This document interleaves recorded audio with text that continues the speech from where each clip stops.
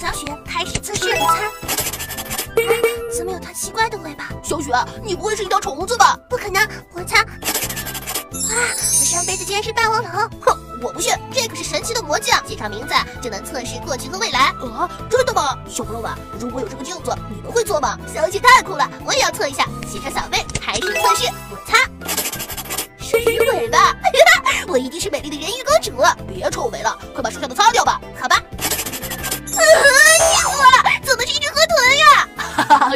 怪不得你总爱发脾气，原来是一只气鼓鼓的河豚呀！哼，臭大王，你敢测一下自己是什么吗？这有什么？这辈子没拍过什么。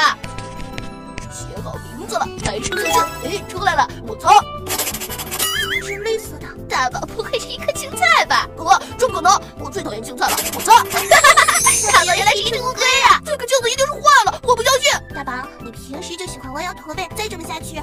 真的要变成乌龟了，好吧，我以后一定要挺起腰板。过去测试过了，我们再来测测未来吧。测什么呢？就测我们这次考试能考多少分吧。好主意，我先来，写上名字，开始测试。我擦，出现了，是零，不会是零分吧？我再猜，哇，太高了，是九十分。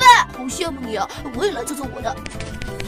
开始测试，我擦，个位数也是零，我不担心，考六十分及格就够了。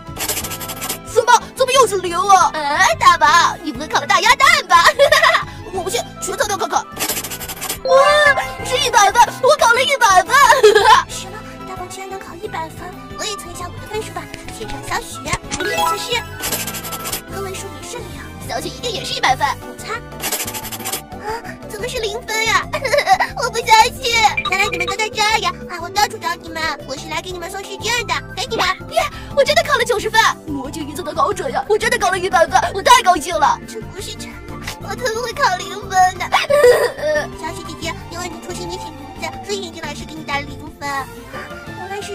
这样，都怪我太粗心了。大宝怎么会考一百分的？就是就是，连我自己也没想到。大宝最近每天都认真完成作业，老师就给大宝打了一百分。原来是这样啊！我以后都要认真学习啊！这里怎么有个大镜子呀？这是个能预测过去与未来的魔镜。我们的分数他都猜对了，真的吗？那我也要测。你要测什么呀？就测我以后能住什么房子吧。快把你的名字写上去吧。我叫小妹，写好了，开始测试。我擦，出来了！怎么还有草地呀？一定是大花园的豪宅。嘿嘿，我看看我的豪宅长什么样。